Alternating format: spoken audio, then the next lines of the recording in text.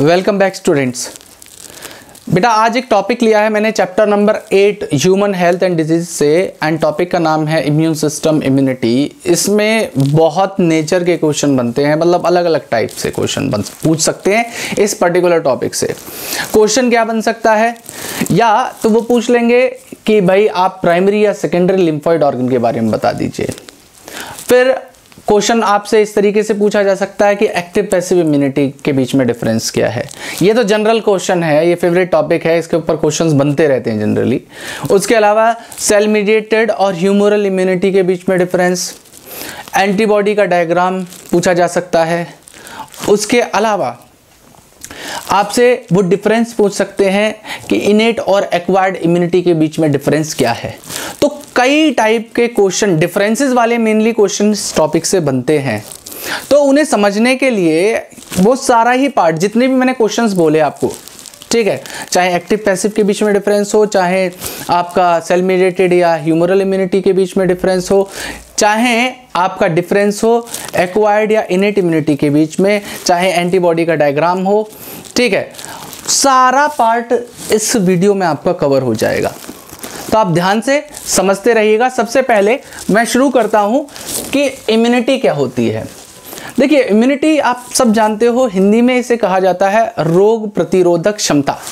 मतलब it is ability of our body to fight against any infectious agent और any infectious disease मतलब हमारी body की वो कैपेबिलिटी जिसकी मदद से हमारी बॉडी फाइट कर पाती है किसी इन्फेक्शियस एजेंट से या इन्फेक्शियस डिज़ीज़ से।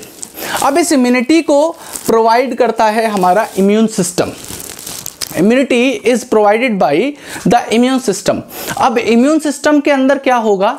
इम्यून सिस्टम में हमारे कुछ ऑर्गन्स होंगे जो इस फ़ंक्शन को परफॉर्म कर रहे होंगे इम्यूनिटी को प्रोवाइड करने के। अब इम्यूनिटी प्रोवाइड किस तरीके से होगी? वो होगी हमारी सेल्स की फॉर्म में।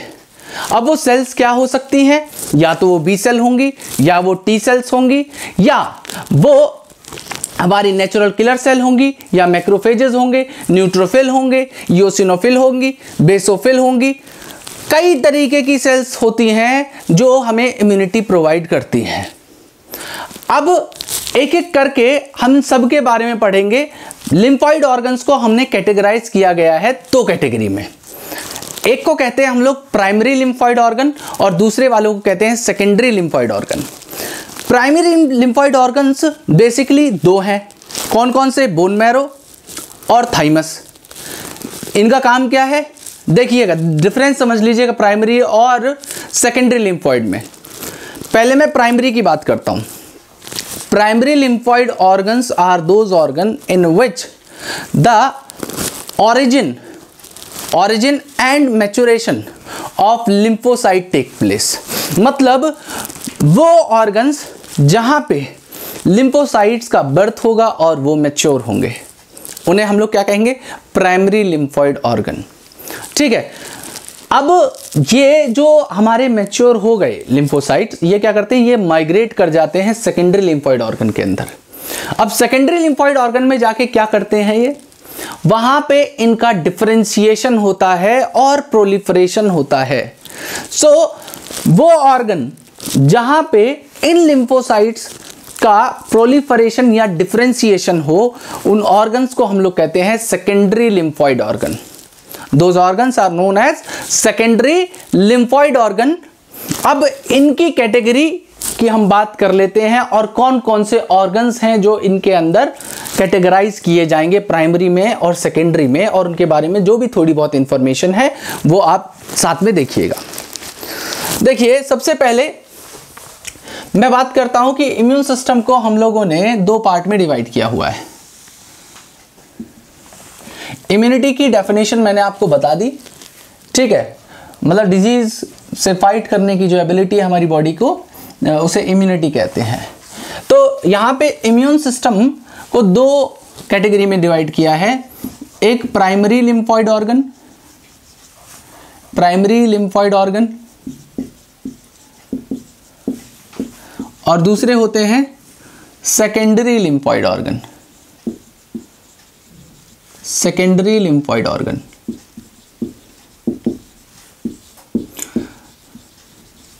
देखिए प्राइमरी लिम्फॉइड ऑर्गन के अंडर आएँगे हमारे कौन से पार्ट्स सबसे पहला बोन मैरो और थाइमस और थाइमस और सेकेंडरी लिम्फॉइड ऑर्गन की जो कैटेगरी है, इसमें कौन कौन से आएँगे? इसमें आएँगे जैसे spleen spleen lymph node lymph node उसके अलावा MALT means mucosal associated mucosal associated lymphoid tissue lymphoid tissue अब इनके बारे में एक एक करके समझिएगा। देखिए, सबसे पहले मैं बात करता हूँ किसकी? बोन मैरो की। बोन मैरो कहाँ होता है? तो नाम से पता चल रहा है कि जो हमारी बोन्स हैं उन उन बोन्स के पास दो तरीके के बोन मैरो होते हैं। एक होता है येलो बोन मैरो और इधर होता है हमारा रेड बोन मैरो ठीक है तो जो रेड बोन मैरो है, वहाँ पे एक स्पेशल सेल्स होती हैं, जिन्हें हम लोग हिमेटोपोइटिक स्टेम सेल्स कहते हैं। ठीक है तो ये जो हिमेपोइटिक स्टेम सेल्स होती हैं, ये क्या करती हैं? मल्टीपोटेंट नेचर की होती है। मीन्स मल्टीपोटेंट का मतलब क्या है कि ये इनसे कई लीनिएज की मीन्स डिफरेंट डिफरेंट टाइप की ब्लड सेल्स बन सकती हैं। मतलब चाहे आपकी बॉडी के अंदर आरबीसी फॉर्म हो रही हो, चाहे कोई डब्ल्यूबीसी सेल्स फॉर्म हो रही हो, वो सब की सब रेड बोन नैरो वाले पार्ट में होगी। ठीक है? और जितनी भी सेल्स यहाँ से तैयार होती हैं जितनी भी सेल्स यहाँ से तैयार होती हैं, उनका एक पर्टिकुलर लाइफ स्पेन होता है। आरबीसी का जैसे 120 डेज़ का लाइफ स्पेन है 120 मींस 120 डेज़ का लाइफ स्पेन हमारे आरबीसी का है। डब्ल्यू का जो लाइफ स्पेन है, वो वेरी करता है थ्री टू फिफ्टीन डेज़ अलग अलग ठीक है? तो ये जितनी भी ब्लड सेल्स होंगी, वो सब हमारे कहाँ पे बनती हैं? बोन मैरो में बनती है। और क्यों बनती हैं? क्योंकि वहाँ पे एक सेल्स होती हैं, जिन्हें कहा जाता है हीमोपोइटिक स्टेम सेल्स और ये जो हीमोपोइटिक स्टेम सेल्स होती हैं they they can form any type of blood cells got it वो किसी भी तरीके की ब्लड सेल को फॉर्म कर सकती हैं। अब यहाँ पे यहाँ पे बोन मैरो के अंदर वो सेल्स हमारी बनेंगी। चाहे कोई भी सेल हो, सबका बर्थ बोन मैरो में ही होना है। एनी टाइप ऑफ़ सेल जो भी बनेगी ब्लड की, वो सब हमारी बोन मैरो के अंदर बनेगी। ध्यान से समझिएगा। देखिए, यहाँ पे मैं लिख दे रहा हूँ all type of blood cell form got it और दूसरा ऑर्गन मैंने बताया आपको कौन सा? थाइमस देखिए थाइमस एक लोब्ड ऑर्गन है, जो हमारे स्टर्नम के पास मौजूद होता है। ये जब हमारा बर्थ होता है तो उस टाइम पे काफ़ी बड़े साइज़ का होगा और जैसे जैसे एज इंक्रीज होती चली जाती है, ये क्या होता है? साइज़ में छोटा होता चला जाता है। मतलब ये रिट्रोग्रेसिव ग्रोथ दिखाता है। मतलब और तो ऑर्गन्स हमारी बॉडी के जनरली क्या करते हैं? जब हम लोग जैसे मास में साइज़ में इंक्रीज होती है हमारी बॉडी तो साथ साथ हमारे ऑर्गन्स भी इंक्रीज करते हैं। लेकिन थाइमस इकलौता ऐसा ऑर्गन है जैसे जैसे हम बड़े होंगे वैसे वैसे ये ऑर्गन छोटे साइज़ का होता चले जाता है। इसीलिए ओल्ड एज में इम्यूनिटी रिलेटेड बहुत ज़्यादा प्रॉब्लम आती है इम्यून सिस्टम थोड़ा सा वीक हो जाता है। ठीक है तो ये थाइमस हो गया। थाइमस और बोन मैरो ये दो आए हमारे प्राइमरी लिम्फॉइड ऑर्गन के अंदर। अब यहाँ पे एक सेल्स तैयार होती है, ध्यान से, ध्यान ध्यान से सुनिएगा। मैं पहले बी सेल्स की बात करता हूँ। बी सेल्स की बात करता हूँ। और यहाँ पे लिख दे रहा हूँ, इनका बर्थ इनका बर्थ और दूसरी तरफ़ लिख दे रहा हूँ इनका मैचुरेशन कहाँ पे होगा? बर्थ और मैचुरेशन तो बी सेल्स का जो बर्थ होता है it take place inside the bone marrow and इनका मैचुरेशन जो होगा, वो भी होगा बोन मैरो के अंदर ही। It also take place inside the bone marrow और जो टी सेल्स होती हैं टी सेल्स का बर्थ तो बोन मैरो में होगा। टी सेल्स का बर्थ तो बोन मैरो में होगा। लेकिन इनका जो मैचुरेशन है it take place inside the thymus वो थाइमस के अंदर होगा। गॉट इट अब ये तो प्राइमरी लिम्फॉइड ऑर्गन हो गए। यहाँ पे इनका बर्थ हुआ। और मैच्योर हुए। हमने इसी बेसिस पे तो बात की थी। प्राइमरी लिम्फॉइड ऑर्गन को किस तरीके से कैटेगराइज किया था? जहाँ पे किसी लिम्फोसाइट का बर्थ होता हो और उनका मैचुरेशन होता हो। उन्हें हम लोग प्राइमरी लिम्फॉइड ऑर्गन कहते हैं। और दूसरे वाले होते हैं हमारे क्या? Secondary lymphoid organ secondary lymphoid organ का क्या काम है? यहाँ पे वो सेल्स प्रोलिफरेट करेंगी मतलब प्रोलिफरेशन होगा उनका और डिफ्रेंशिएशन होगा। डिफ्रेंशिएशन होगा। मतलब प्रोलिफरेशन और डिफ्रेंशिएशन का मतलब क्या? प्रोलिफरेट का मतलब ये सेल्स अपने नंबर को इंक्रीज करेंगे, अपने जैसी और जो सेल्स हैं, उन्हें तैयार किया जाएगा। ये साइज़ में इंक्रीज करेंगी और डिफरेंशिएशन का मतलब होता है क्या? ये अपने सब टाइप्स को फॉर्म करती हैं। जैसे टी सेल की बात करूँ टी सेल के कई सब टाइप होते हैं। जैसे T helper cell T memory cell T cytotoxic cell कई तरीके की सेल्स होती हैं जो डिफरेंशिएशन करके टी सेल फॉर्म करती है और ये सारा डिफरेंशिएशन का काम सेकेंडरी लिम्फॉइड ऑर्गन के अंदर होगा। ठीक है? तो अब बात कर लेते हैं सेकेंडरी लिम्फॉइड ऑर्गन्स की। प्लीन एक बीन शेप्ड ऑर्गन है। It is a bean shape organ जो कंटेन करके रखता है हमारी लिम्फोसाइट्स को which contain lymphocytes and phagocytes and phagocytes अब इसका काम क्या होता है स्प्लीन का? देखिए, यहाँ पे जो हमारी ब्लड वेसल्स हैं, वो इस स्प्लीन के थ्रू पास होंगी। तो अगर हमारे ब्लड सर्कुलेशन के अंदर कोई भी पैथोजन एंटर करने की कोशिश करेगा या हमारे ब्लड के अंदर कोई भी एंटीजन एंटीजन या पैथोजन का प्रेजेंस है तो ये लिम्फोसाइट्स जो हमारे स्प्लीन में मौजूद हैं, ये उन्हें ट्रैप करेंगे और ट्रैप करके उनको किल कर देंगे। तो इनका एक काम होता है ट्रैप करते हैं ये ब्लड बॉर्न पैथोजेंस को एंड एंटीजेंस को। और उसके अलावा जो आर होती हैं हमारी रेड ब्लड कॉर्पोसेल्स वो अपना जब लाइफ स्पेन कंप्लीट कर लेती हैं, उसके बाद उनकी जो डेथ होगी मीन्स उनको जो किल किया जाएगा, उनको एक्चुअल में जहाँ पे ख़त्म किया जाएगा, वो साइट स्प्लीनी होती है। मीन्स इन्हें ग्रेवयार्ड ऑफ़ आरबीसी भी हम लोग कहते हैं। These are also known as graveyard of R B C okay तो ये हमारी स्प्लीन हो गई। अब एक चीज़ है, देखिए, यहाँ पे जो बी सेल है बी सेल को नाम बी क्यों मिला है और टी सेल है टी सेल को नाम टी सेल्स क्यों मिला है, वो आप समझ लीजिए। देखिए बी सेल का मतलब है बी का मतलब होता है बर्सा। बर्सा एक रीजन है जो बर्ड्स के अंदर क्लोए का एक पार्ट होता है, उसके आसपास मौजूद होता है ये। तो ह्यूमंस में ये प्रोसेस डिस्कवर होने से पहले, इस पार्ट को डिस्कवर होने से पहले, ये बर्ड्स के अंदर डिस्कवर हो गया था। तो बी मतलब होता है बर्सा इसको कंप्लीटली बोला जाता है bursa of Fabricius Fabricius was a scientist who discovered this part तो बी यहाँ पे क्या शो करता है? बी शो करता है bursa of Fabricius.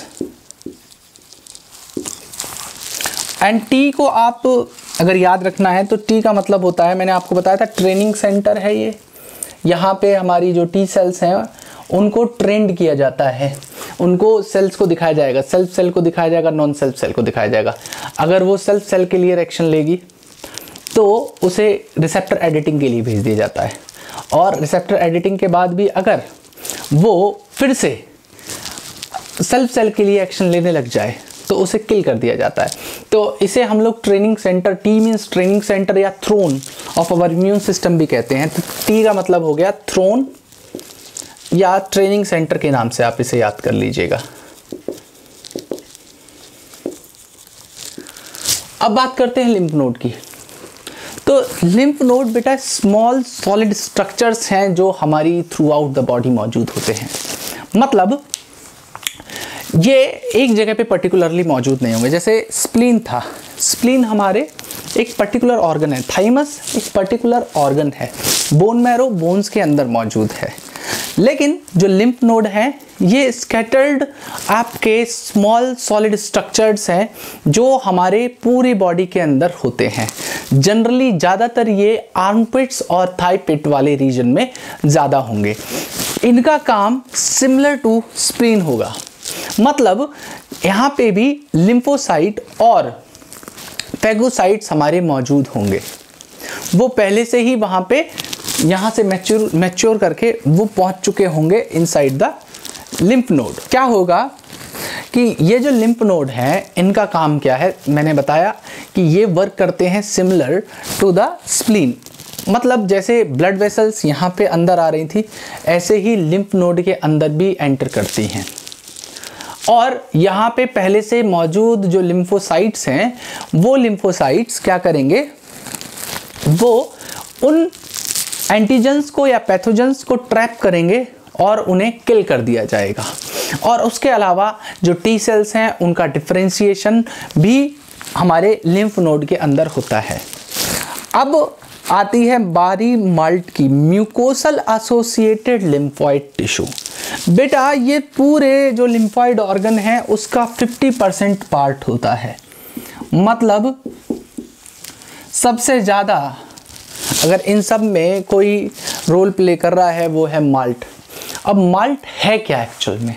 देखिए, यहाँ पे लिखा हुआ है म्यूकोसल एसोसिएटेड मतलब एक लेयर होती है जिसे जाना जाता है म्यूकोसा के नाम से। म्यूकोसा का काम है म्यूकस को रिलीज़ करना। अब जो म्यूकस रिलीज़ होगा, वो कई जगह पे होता है। ये हमारे डाइजेस्टिव ट्रैक्ट पे मौजूद हो सकते हैं ईसोफेगस की लाइनिंग में। ये यूरिनोजेनाइटल ट्रैक्ट में मौजूद हो सकते हैं उनकी लाइनिंग में। जैसे आपने कभी नाम सुना होगा Peyer patches Peyer patches is a kind of MALT ठीक है? एक कुफर सेल्स होती हैं हमारे लिवर में, वो भी एक माल्ट है। तो जो हमारा रेस्पिरेटरी ट्रैक्ट है डाइजेस्टिव ट्रैक्ट है यूरिनोजेनाइटल ट्रैक्ट है, उन सब की लाइनिंग में ये माल्ट मौजूद है। मीन्स उसी को माल्ट कहते हैं। जैसे अगर मैं यहाँ पे डाइजेस्टिव ट्रैक्ट को बनाऊँ। If I draw a digestive tract in front of you तो ये ईसोफेगस आ रहा है, यहाँ से स्टमक है। ठीक है, ये स्टमक है। उसके बाद ये जो इंटेस्टाइन है। तो यहाँ पे जो इसकी वॉल है, इस वॉल के अंदर ये इस तरीके से स्कैटर्ड पाउचेस की फॉर्म में ये मौजूद होते हैं। यहाँ पे क्या होता है, यहाँ पे इनके अंदर ऑलरेडी ये लिम्फोसाइट्स मौजूद होंगे। तो अगर कोई भी एंटीजन एंटर करने की कोशिश करता है तो इसे ट्रैप कर लिया जाएगा यहाँ पे। ट्रैप करके उसे किल कर दिया जाएगा। ठीक है, ऐसे ही हमारे जो रेस्पिरेटरी ट्रैक्ट है रेस्पिरेटरी ट्रैक्ट के अंदर भी ये मौजूद हो सकते हैं। ठीक है, मौजूद हो नहीं सकते, होते हैं। इनफैक्ट इनकी भी जो वॉल्स हैं, यहाँ पे होंगे। तो अगर कोई डस्ट पार्टिकल या पैथोजन हमारा एंटर करने की कोशिश करेगा बॉडी में तो उस पैथोजन को ट्रैप करके किल करना। किसका काम है? इन म्यूकोसल एसोसिएटेड लिम्फाइड टिश्यू का काम है। तो ये स्कैटर्ड है हमारी बॉडी में। तीन जगह पे होंगे। कहाँ कहाँ पे? मैं बता दे रहा हूँ। सबसे पहला डाइजेस्टिव ट्रैक्ट उसके अलावा respiratory tract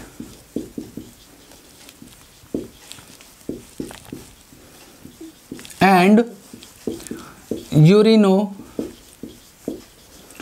urinogenital tract और सबसे ज़्यादा कंसंट्रेशन में माल्ट हमारी बॉडी में मौजूद होते हैं। इम्यूनिटी को कैटेगराइज किया हुआ है दो कैटेगरीज में इनसाइड अवर बॉडी एक होती है इनेट इम्यूनिटी और एक होती है acquired immunity innate immunity inborn immunity है, जो हमें हमारे पेरेंट्स से मिलती है। और एक्वायर्ड इम्यूनिटी वो है, जो हम लाइफ टाइम में एक्वायर करते हैं। इन दोनों के बीच में बहुत सारे डिफरेंसेस हैं, जिन्हें हम लोग एक एक करके अभी पढ़ेंगे। तो देखिए, यहाँ पे पहले मैं बात करता हूँ इम्यूनिटी को कैटेगराइज कर देता हूँ दो कैटेगरी में। इम्यूनिटी को मैं कैटेगराइज कर दे रहा हूँ दो मेन कैटेगरीज में। एक बोल दे रहा हूँ इनेट और दूसरी वाली को बोल दे रहा हूँ मैं एक्वायर्ड जो इनेट है, जो इनेट इम्यूनिटी है, ये इनबॉर्न हमें मिलती है। ये इनबॉर्न इम्यूनिटी है। उसके अलावा, ये नॉन स्पेसिफिक होती है, सबको ये एक जैसा ट्रीटमेंट देगी, चाहे किसी भी तरीके की। इम्यून जो एंटीजेंस है या पैथोजेंस है हमारी बॉडी के अंदर आए, उसके लिए सबको एक ही जैसा इम्यून रिस्पॉन्स देगी। इसका काम है क्या करना? It provide barriers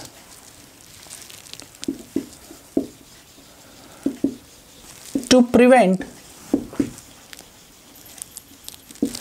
entry of pathogen मतलब पैथोजन की एंट्री ही नहीं होने देगा, उसके लिए ये बैरियर्स को प्रोवाइड करेगा ताकि उसमें क्या हो पाए कि जो पैथोजन है वो हमारी बॉडी के अंदर एंटर ही ना हो पाए।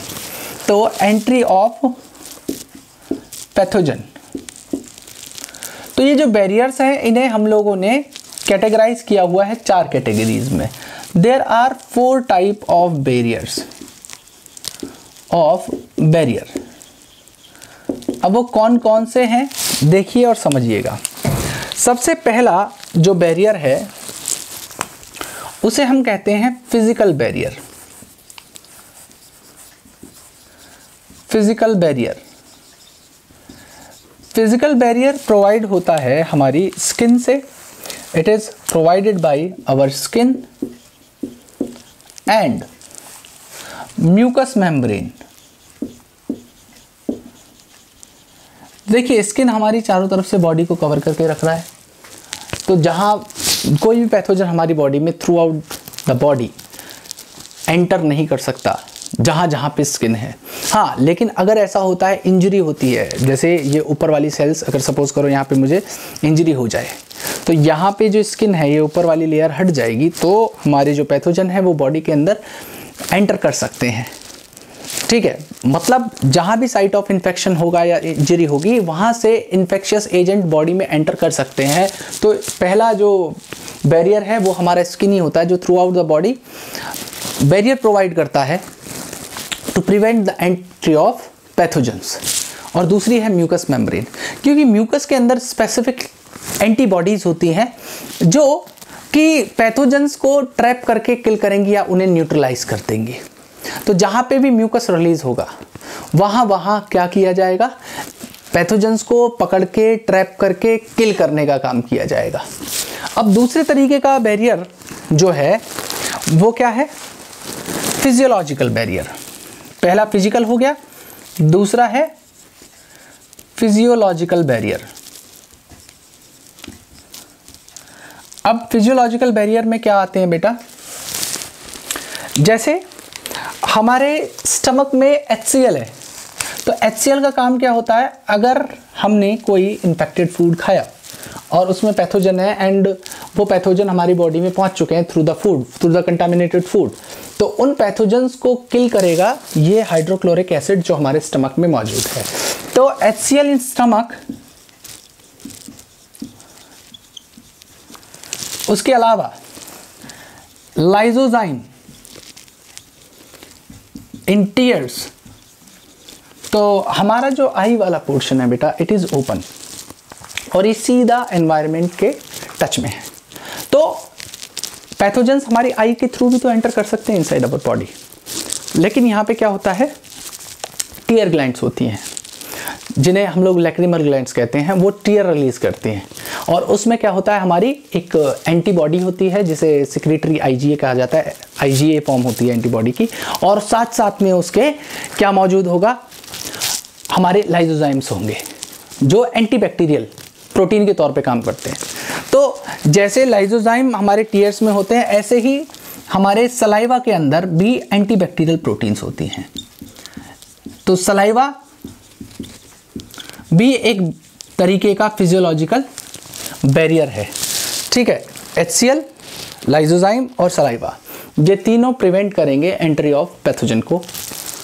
और अगर एंट्री हो जाती है तो उसके बाद उन्हें न्यूट्रलाइज या किल करने का काम करेंगे। अब तीसरे तरीके के बैरियर की बात कर लेते हैं हम लोग। तो थर्ड टाइप ऑफ़ बैरियर है सेलुलर बैरियर सेलुलर बैरियर। बेटा, सेलुलर बैरियर प्रोवाइड करेंगी हमारी कुछ इम्यून सेल्स जिन्हें कहा जाता है पॉली मॉर्फो न्यूक्लियर ल्यूकोसाइट्स बेटा, इसकी कैटेगरी में हमारे कई तरीके की सेल्स आती हैं। इसके अंदर कौन कौन सी सेल्स आएँगी? जैसे एक होती है हमारी, उन्हें कहते हैं, हम लोग इसे पी एम एन एल कह देते हैं शॉर्ट में। Polymorphonuclear leucocytes P M N L तो इसी कैटेगरी में आती है हमारी P M N L neutrophils macrophages macrophages ठीक है, ये सेल्स और एक और होती है इनके साथ, जिन्हें हम लोग नेचुरल किलर सेल कहते हैं। एन के सेल नेचुरल किलर सेल तो ये तीन सेल्स हमारी सेलुलर बैरियर है। मीन्स अगर इन्फेक्शियस एजेंट हमारी बॉडी में आएगा तो उनको ये सेल्स न्यूट्रोफिल्स मैक्रोफेजेस और नेचुरल किलर सेल्स ट्रैप करेंगी और उन्हें किल करेंगी। और लास्ट बैरियर जो है fourth barrier fourth type of barrier it is what cytokine barrier cytokine barrier तो बेटा ये साइटोकाइन बैरियर क्या होता है? जो भी हमारी वायरस इन्फेक्टेड सेल्स हैं, जो वायरस इन्फेक्टेड सेल्स हैं, वो इन साइटोकाइंस को रिलीज़ करती हैं। साइटोकाइंस एक केमिकल मॉलिक्यूल्स हैं तो इन्हें रिलीज़ करके क्या करेगा कि जो नॉन इन्फेक्टेड सेल्स हैं, उनको मैसेज दिया जाएगा और उन्हें प्रोटेक्ट किया जाएगा। तो the cytokines are release from virus infected cells to protect the non infected cells मैं यहाँ लिख दे रहा हूँ ऊपर to protect to protect the non-infected cells. Infected cells. तो साइटोकाइन बैरियर ये होता है जो वायरस इन्फेक्टेड सेल्स रिलीज़ करेंगी। साइटोकाइन मॉलिक्यूल्स को मैं लिख दे रहा हूँ। They release cytokine to protect the non infected cells from this viral infection अब बात करते हैं दूसरे टाइप की इम्यूनिटी की। जिसे मैं कह रहा हूँ एक्वायर्ड इम्यूनिटी ये हम लोग एक्वायर करते हैं during life time we will acquire it या एक्वायर दिस इम्यूनिटी ऐसे लिख दीजिए ड्यूरिंग लाइफ टाइम बेटा, जैसे ये नॉन स्पेसिफिक है ये बिल्कुल स्पेसिफिक होती है। मतलब कि जिस तरीके का हमारा पैथोजन आएगा, उसको उसी हिसाब से ट्रीटमेंट दिया जाएगा। ठीक है? मतलब होगा क्या कि अगर वायरसेस आते हैं तो उनको अलग तरीके की सेल्स डील करेंगी। बैक्टीरियाज आते हैं तो उनको अलग तरीके की सेल्स डील करेंगी। अगर कोई एलर्जन आते हैं तो उनको कोई अलग तरीके की सेल्स डील करेंगे। तो वहाँ पे सब different different type of pathogen के लिए different different type of cells available हैं। तो स्पेसिफिक सेल होंगी एक स्पेसिफिक पैथोजन के लिए या एंटीजन के लिए। ये स्पेसिफिक होती हैं। अब यहाँ पे इसकी कुछ खास बात है। जैसे देखो, ये बैरियर प्रोवाइड कर रहे थे, ये बैरियर वैरियर कुछ प्रोवाइड नहीं करेंगी। इसकी खास बात है चार पॉइंट जैसे यहाँ पे चार मैंने आपको फ़िज़िकल बैरियर बताए, ऐसे ही यहाँ पे भी चार चीज़ें बता रहा हूँ आपको। जो यहाँ पे एक्वायर्ड इम्यूनिटी की खास बात है। सबसे पहला तो इनके पास डाइवर्सिटी होती है। डाइवर्सिटी का मतलब ये है कि इनके पास डाइवर्स टाइप के इम्यून सेल्स होंगे और एंटीबॉडीज़ होंगी, जो कि पैथोजेंस को पकड़ेंगी और किल करेंगी। मतलब क्या हुआ इसका? इसका मतलब ये हुआ कि जो हमारे एंटीजन आया फॉर एग्ज़ाम्पल उसके हिसाब से एंटीबॉडी तैयार की जाएगी। ऐसा नहीं होगा कि एक ही तरीके की सेल है। आप एक बात, सीधी बात बताइए। एक चाबी से आप हर लॉक को खोल सकते हो क्या? पॉसिबल है ऐसा। तो क्या आपके पास एक तरीके की एंटीबॉडीज़ हैं? उसी एक तरीके की एंटीबॉडीज से आप डाइवर्स टाइप के पैथोजेंस को किल कर सकते हो क्या? मतलब अलग अलग पैथोजन है तो डाइवर्स टाइप के मीन्स अलग अलग टाइप के हमारे पास एंटीबॉडीज़ भी होंगे। तो यहाँ पे डाइवर्सिटी होती है। दूसरी चीज़ क्या है? इनके पास स्पेसिफिसिटी होती है। ये स्पेसिफिक इम्यून रिस्पॉन्स देंगे टू द स्पेसिफिक सेल जो मैंने अभी आपको बताया। तीसरी चीज़ क्या होती है? ये डिफ्रेंशिएट कर सकती हैं between self and non self मतलब कि इनको पता है कि हमें अपनी सेल्स को हार्म नहीं करना और जो non self non self cell है, जो भी फॉरेन सेल है, उसे किल करना है। तो इनके पास एक खास बात होती है they can differentiate between self and non self cell. And last and सबसे इंपॉर्टेंट मेमोरी जो इस इनेट इम्यूनिटी के पास नहीं होती। अब मेमोरी का मतलब क्या है और मेमोरी कैसे तैयार होगी? तो उसको आप समझिएगा। मेमोरी समझिएगा कि मेमोरी किस तरीके से काम करती है अपनी। देखिए, ये है ह्यूमन बॉडी क्या है ये? एक ह्यूमन बॉडी में बना रहा हूँ यहाँ पे।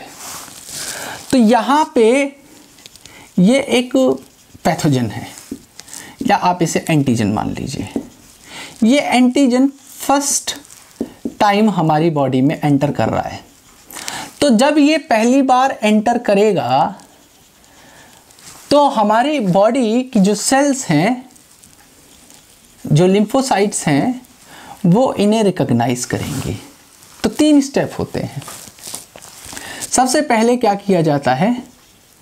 रिकॉग्नाइज किया जाता है। ठीक है? और रिकॉग्नाइज करने के बाद क्या किया जाता है? उसके लिए रेस्पॉन्ड किया जाता है। तो सबसे पहले ये हमारी जो इम्यून सेल्स हैं, वो इसे रिकॉग्नाइज करेंगी और इसके लिए रिस्पॉन्स देंगी। क्योंकि ये पहली बार हमारी बॉडी में आया है तो हमारी बॉडी के लिए ये बिल्कुल एक नया मॉलिक्यूल है। तो इसे जो न्यूट्रलाइज करने में काफ़ी टाइम लगेगा। मतलब it is a time taking process while recognising and responding to the antigen which is entered inside the body for the very first time तो यहाँ पे जब ये पहली बार आया तो हमारी बॉडी जब इसके लिए जो इम्यून सेल्स एक्शन ले रही होंगी तो इस इम्यून रेस्पॉन्स को हम लोग प्राइमरी इम्यून रेस्पॉन्स कहते हैं। It is known as primary immune response और प्राइमरी इम्यून रेस्पॉन्स लेने के बाद, मैंने क्या बताया, ये टाइम टेकिंग प्रोसेस है। प्राइमरी इम्यून रेस्पॉन्स एक टाइम टेकिंग प्रोसेस है। अब क्या होगा कि रेस्पॉन्स ले लिया बट साथ साथ में एक स्पेशलाइज सेल तैयार कर देगा ये। रेस्पॉन्स किया, इसे न्यूट्रलाइज भी किया, लेकिन साथ साथ में एक सेल तैयार कर दिया, जिसे हम लोग कहेंगे मेमोरी सेल जिसे कहेंगे हम लोग मेमोरी सेल अब ये मेमोरी सेल्स हमारी बॉडी के अंदर बन के तैयार हो चुकी हैं, और अब इन सेल्स को याद रहेगा कि ये जो एंटीजन आया था, इसकी किस साइट पे बाइंड करके हमने इस एंटीजन को न्यूट्रलाइज किया था। गॉट इट तो अब ये मेमोरी सेल्स हमारी इस पर्टिकुलर एंटीजन या पैथोजन के लिए बन चुकी हैं। अब क्या होता है, ये एंटीजन फिर से आता है। ये फिर से आता है सेकेंड टाइम आता है। अब सेकेंड टाइम ये आएगा तो हमारी बॉडी को जैसे पहले टाइम लगा था, है ना? प्राइमरी इम्यून रिस्पॉन्स लेने के लिए। तो यहाँ पे अब इसके लिए टाइम नहीं लगेगा। तो यहाँ पे एक बहुत स्ट्रॉन्ग हाईली इंटेंसिफाइड रिस्पॉन्स हमारी बॉडी देगी और इनको एकदम ट्रैप करके किल कर दिया जाएगा without taking so much time जैसे यहाँ पे बहुत ज़्यादा टाइम दिया था यहाँ पे बहुत फास्ट प्रोसेस होगा। एक बहुत एग्जाग्रेटेड रेस्पॉन्स देगी हमारी सेल्स और इसको एकदम किल कर दिया जाएगा। तो जब यहाँ पे दूसरी बार हमारी बॉडी के पास ये ये एंटीजन एंटर किया तो हमारी बॉडी ने जो इम्यून रेस्पॉन्स दिया, जिसे हम लोग सेकेंडरी इम्यून रेस्पॉन्स कहते हैं। और ये बहुत फास्ट होता है, बहुत हाई इंटेंसिटी का होता है हाईली इंटेंसिफाइड काट इट तो ये किसकी वजह से हो पाया? ये पॉसिबल हो पाया मेमोरी सेल्स की वजह से, जो कि बन के हमारे पास पहले से स्टोर हो रखी थी। इन्होंने इसे पहचाना कि अच्छा तुम्हें तो हमने पहले भी किल किया था। और तुम्हें कैसे किल किया था, हमें पता है। आएँगे, इसे ट्रैप करेंगे और इसे किल कर देंगे। इसे कहेंगे सेकेंडरी इम्यून रिस्पॉन्स और इसी जो मेमोरी का कॉन्सेप्ट है, इसी के बेसिस पे वैक्सीन्स बनाई गई हैं। वैक्सीन्स के अंदर क्या किया जाता है, जैसे यहाँ पे ये जो एंटीजन है, ये हमारी बॉडी में पहली बार आया। यहाँ पे क्या करते हैं, हम लोग एक वीक पैथोजन डाल देते हैं। मतलब एक वीक पैथोजन तैयार करते हैं या एंटीजन तैयार करते हैं, उसको बॉडी में ज़बरदस्ती डेलिबरेटली इंजेक्ट करवाते हैं। तो इंजेक्ट कराने से क्या होगा, हमारी बॉडी उसे पहचानेगी। अब ये जो मॉलिक्यूल जिसे हम लोगों ने इंजेक्ट कराया है मतलब वैक्सीनेशन केस में, उसे क्या कहते हैं वैक्सीन कहते हैं। तो वैक्सीन बेसिकली क्या करता है मिमिक करता है एज अ पैथोजन तो मिमिक करेगा तो उस केस में क्या होगा, हमारी हमारी बॉडी को थोड़ी पता है कि हमने जानबूझ के कराया कि हम नेचुरली हुई है। इम्यून सिस्टम को तो नहीं पता ना ये सब चीज़ें। तो हमारी इम्यून सिस्टम तो सबको देखेगी। मतलब सबके लिए इक्वल एक्शन है उनका। प्राइमरी और सेकेंडरी इम्यून रिस्पॉन्स है, जो अभी हमने पढ़े। ये दोनों ही इम्यून रिस्पॉन्स को देने के लिए दो तरीके की सेल्स हैं जो रिस्पॉन्सिबल होंगी। एक को कहा जाता है बी लिम्फोसाइट बी लिम्फोसाइट्स और दूसरी वाली कहलाती हैं टी लिम्फोसाइट। देखिए, बी लिम्फोसाइट्स वो सेल हैं जिनका काम होता है एंटीबॉडी प्रोडक्शन का। ये क्या करेंगी? एंटीबॉडीज को सिंथेसाइज करेंगी at very faster rate. Got it मतलब thousands of antibodies per second in P lymphocytes के अंदर से तैयार होके निकलती रहती हैं। ये जैसे बी सेल है। ये बी सेल का काम क्या होगा? ये इनको एंटीबॉडीज़ को बनाती रहेंगी और रिलीज़ करती रहेंगी। बनाती रहेंगी और रिलीज़ करती रहेंगी। और दूसरे तरीके की सेल्स होती हैं जिन्हें कहा जाता है टी लिम्फोसाइट्स टी लिम्फोसाइट्स का काम होता है, ये मदद करते हैं इन बी लिम्फोसाइट को to produce the antibodies means they will help the B cells to produce antibodies अब ये क्यों होता है? ये होता है इसलिए क्योंकि एक प्रोसेस कहलाता है। उस प्रोसेस को कहते हैं हम लोग T cell mediated B cell activation T cell mediated B cell activation मतलब क्या होता है इसका? इसका मतलब ये होगा कि जो टी सेल्स हैं, ये टी सेल्स इन बी सेल को एक्टिवेट करती हैं। ताकि बी सेल्स एंटीबॉडीज़ को बना पाए। अकेले बी सेल इस काम को परफॉर्म नहीं कर सकती, उनको टी सेल्स की मदद लेनी पड़ेगी। टी सेल्स को जब तक इनको एक्टिवेट नहीं करेंगे, तब तक बी सेल एंटीबॉडीज़ नहीं बनाएँगी। अब इसी बेसिस पे हम लोगों ने दो तरीके के इम्यून रिस्पॉन्स का मतलब ये अगर एंटीबॉडीज़ के थ्रू इम्यून रिस्पॉन्स लिया जाता है तो उसे हम लोग ह्यूमोरल इम्यून रिस्पॉन्स कह देते हैं। और अगर अगर वहाँ पे हमारी साइटोटॉक्सिक या दूसरी तरीके की सेल्स एक्शन लेती हैं तो उन्हें हम लोग कहते हैं सेल मीडिएटेड इम्यून रिस्पॉन्स तो एंटीबॉडीज़ जो इम्यून रिस्पॉन्स लेंगी, उसे हम लोग antibody mediated antibody mediated immune response कहेंगे. और इसी को दूसरा नाम दे देते हैं ह्यूमोरल इम्यूनिटी या ह्यूमोरल इम्यून रिस्पॉन्स।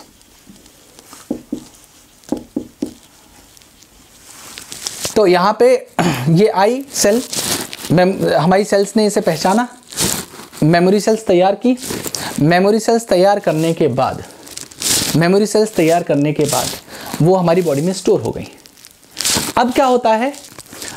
नेचुरली ये पैथोजन हमें इन्फेक्ट करते रहते हैं।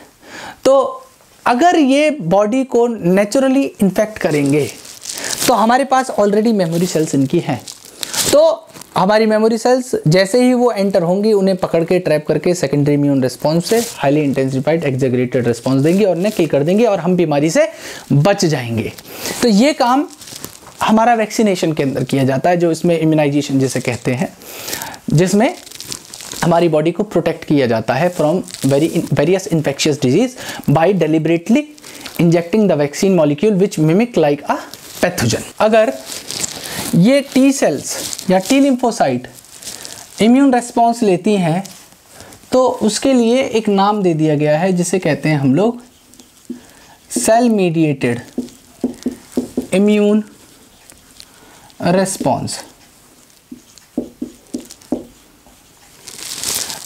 इसे सीएमआई भी कह देते हैं सेल मीडिएटेड इम्यूनिटी इसे एंटीबॉडी मीडिएटेड इम्यूनिटी भी कह देते हैं, इसे शॉर्ट में ए एम आई भी कह देते हैं एंटीबॉडी मीडिएटेड इम्यूनिटी तो जब एंटीबॉडीज़ इम्यूनिटी प्रोवाइड करेंगी या इम्यून रिस्पॉन्स लेंगी तो उसे एंटीबॉडी मीडिएटेड इम्यून रिस्पॉन्स या ह्यूमोरल इम्यून रिस्पॉन्स कह दिया जाता है। और अगर सेल्स लेंगी, जिसमें स्पेसिफिकली कौन सी टी लिम्फोसाइट एक्शन लेंगी और इन टी लिम्फोसाइट में एक्टिवेशन हो जाएगा किसका? हमारी टी सेल्स का। टी सेल हमारी एक तरीके की सेल टी तीन तरीके की सेल फॉर्म कर सकती हैं। टी सेल में एक टी हेल्पर सेल होती हैं। एक होती हैं हमारी टी साइटोटॉक्सिक सेल्स और तीसरे टाइप की होती हैं टी मेमोरी सेल्स तो इसमें जो टी साइटोटॉक्सिक सेल्स हैं ये अगर फॉर्म हो जाती हैं तो ये किलर इफ़ेक्ट देती हैं, ये किलर एक्शन लेती हैं, सीधा जो एंटीजन है, उसे ट्रैप करेंगे, उसे किल कर देंगे। तो ये जो साइटोटॉक्सिक टी लिम्फोसाइट है, इसे शॉर्ट में टी साइटोटॉक्सिक या साइटोटॉक्सिक टॉक्सिक टी सेल्स कह दिया जाता है। These are also known as cytotoxic T lymphocyte या T cells they will take killer action to kill the pathogen. अब बोर्ड्स में एक स्ट्रक्चर पूछ लिया जाता है कि एंटीबॉडी का स्ट्रक्चर क्या होता है। अभी हम लोगों ने पढ़ा था कि जो बी सेल्स हैं, वो एक वाई शेप के स्ट्रक्चर को फॉर्म करती हैं, जो प्रोटीनेशियस नेचर का होता है। उन्हें हम लोग कहते हैं एंटीबॉडीज़ तो इनके स्ट्रक्चर को पूछा जाता है बोर्ड्स में कि एंटीबॉडी का स्ट्रक्चर किस तरीके का होगा। तो अब मैं structure of antibody of antibody की बात करूँगा। एंटीबॉडीज को इम्यूनोग्लोबिन्स भी कहा जाता है। इन्हें इम्यूनोग्लोबिन्स भी कहते हैं। तो यहाँ पे क्या होता है? इसका जो इम्यूनोग्लोबिन्स का शॉर्ट फॉर्म में इन्हें आईजीज कहते हैं आईजी गॉट इट अब ये एंटीबॉडी का स्ट्रक्चर दो चेन का मिलके बना हुआ है। दो हैवी चेन दो लाइट चेन इसलिए इसे कहा जाता है H2L2 मतलब क्या है? यहाँ पे दो हैवी चेन होंगी और दो लाइट चेन होंगी।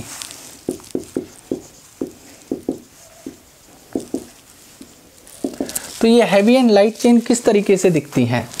तो सबसे पहले आप वाई शेप स्ट्रक्चर बनाइएगा इस तरीके से। दो वाई आपको दो लाइन ऐसे खींचनी है कि वो एक वाई जैसा दिखाई दे। तो ये दोनों जो मैंने आपके सामने बनाई हैं, ये दोनों ही क्या है? हैवी चेन्स है। अब मैं इनके साथ में लाइट चेन बना देता हूँ। इनके साथ में मैं लाइट चेन्स को बना देता हूँ।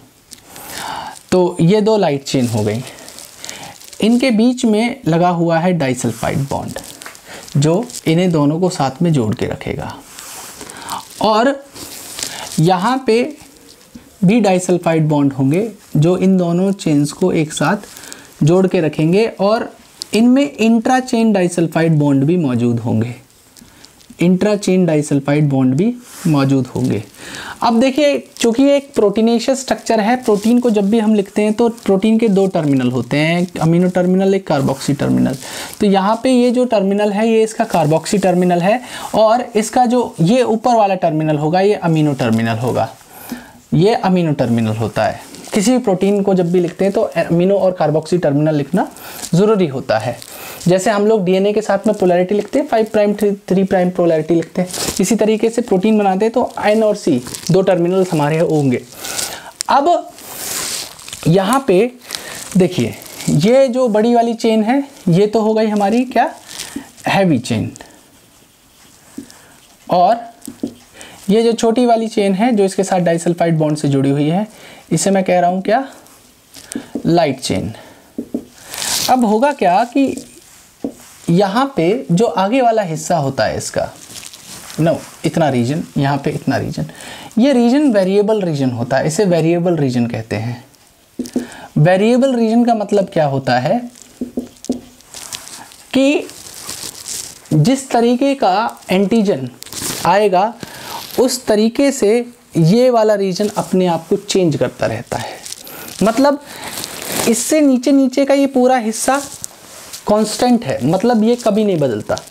लेकिन इससे ऊपर ऊपर का जो हिस्सा है, ये हमेशा वेरी करता है और पैथोजन टू पैथोजन तो इस ऊपर वाले रीजन को हम लोग वेरिएबल रीजन कह देते हैं। ठीक है? तो यहाँ पे इस वाले पार्ट को मैंने कहा वेरिएबल रीजन है तो ये वेरिएबल हैवी रीजन है। और ये क्या है? वेरिएबल लाइट रीजन है वी एल क्योंकि लाइट चेन का पार्ट है ये। देखिए, मैंने बताया था लाइट चेन है ये। तो ये वेरिएबल हैवी हो गया, ये वेरिएबल लाइट हो गया। अब नीचे वाला रीजन मैंने बताया क्या होता है? नीचे वाला रीजन होता है कांस्टेंट जो कभी नहीं बदलता। कांस्टेंट रीजन अब कहोगे कि वेरिएबल और अच्छे से समझना है तो एक चीज़ और समझ लीजिए। देखिए, यहाँ पे एक्चुअल में क्या होता है? ये जो साइट है, यहाँ पे ये एंटीजन बाइंडिंग साइट होती है। मतलब यहाँ से ये एंटीजन से बाइंड करते हैं। तो मैं लिख दे रहा हूँ इससे एंटीजन बाइंडिंग साइट तो एक एंटीबॉडी एक बारी में दो एंटीजन से बाइंड कर सकती है। एक ये एक ये। अब जिस साइट से ये बाइंड करते हैं एंटीजन को, इस एंटीजन बाइंडिंग साइट को एंटीजन बाइंडिंग साइट को हम लोग पैराटोप भी कहते हैं। इसको पैराटोप भी कहते हैं। और सपोज़ ये कोई एंटीजन है और इसकी साइड से बाइंड किया जा रहा था। तो ये एंटीजन है, जिससे बाइंड करना है। तो ये जो एंटीजन बाइंडिंग साइट है, वो इस एंटीजन की इस साइट से बाइंड करेगी, जिन्हें हम लोग कहते हैं एपिटोप। क्या कहते हैं? एपिटोप। तो ये जो पैराटोप है जो एंटीबॉडीज के ऊपर थे, वो इस एपिटोप पे बाइंड करेंगे जो एंटीजन के ऊपर है और उसे न्यूट्रलाइज करेंगे। तो देखिए, ये वाला रीजन बाइंड कर रहा है ना एंटीजन से। तो एंटीजन तो एक तरीके का आएगा नहीं, हमेशा अलग अलग तरीके के एंटीजन हमारी बॉडी में एंटर करेंगे। उन्हें न्यूट्रलाइज करने के लिए एक ही तरीके की एंटीबॉडी मॉलिक्यूल थोड़ी होगा। तो ये ऊपर वाला जो रीजन है, ये वेरिएबल होता रहता है मतलब चेंज होता रहता है। तो इसलिए इसे वेरिएबल रीजन कह दिया।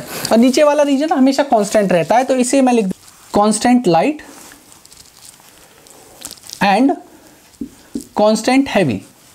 ये कांस्टेंट हैवी कांस्टेंट लाइट। अब देखिए इसके तीन पार्ट है। हैवी चेन, बड़ी चेन है। ये वाला हमारा छोटा चेन है। तो इसमें तीन हिस्सों में डिवाइड कर दे रहा हूँ। Constant heavy one constant heavy two constant heavy three. क्योंकि वेरिएबल चेन जो है वो छोटी है, उसे और ज़्यादा डिवाइड नहीं कर सकते, लेकिन जो ये वाला हैवी चेन है, ये लाइट वाली चेन तो छोटी थी हैवी वाली बड़ी है काफ़ी। तो इसे तीन हिस्सों में मैंने डिवाइड कर दिया constant heavy one constant heavy two और कॉन्स्टेंट हैवी थ्री